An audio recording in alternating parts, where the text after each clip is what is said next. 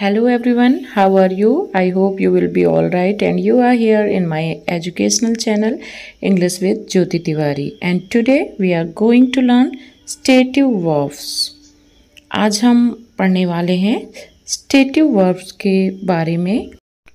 So let's know something more about stative verbs let's move on stative verbs जिनको स्थिति सूचक क्रियाएँ भी कहा जाता है।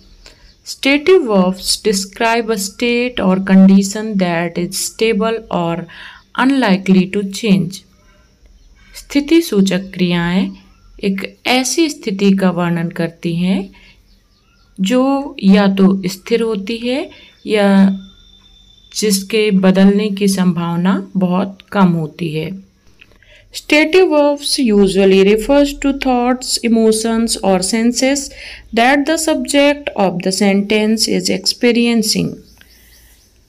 स्थिति सूचक क्रियाएँ उन विचारों या भावनाओं या इंद्रियों को व्यक्त करती हैं जिन्हें किसी वाक्य का जो सब्जेक्ट होता है विषय वह अनुभव कर रहा होता है stative verbs generally action verbs के अपोजिट होती हैं।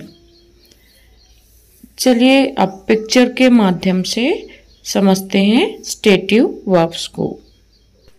As you can see in this picture there are some stative verbs so some stative verb shows description or position as like a, a be exist seem look etc Some stative verbs shows senses like see, smell, taste, hear and feel.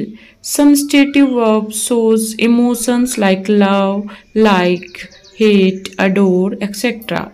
Some stative verbs shows ideas like know, think, imagine, etc. Some stative verbs shows attitude like hope, want, wish. Some stative verb shows physical sensations like hurt and ache. Some stative verb shows measurement like measure and cost. Some stative verb shows relationships like belongs to, depends on and of. I hope you will be understand the stative verbs through this video.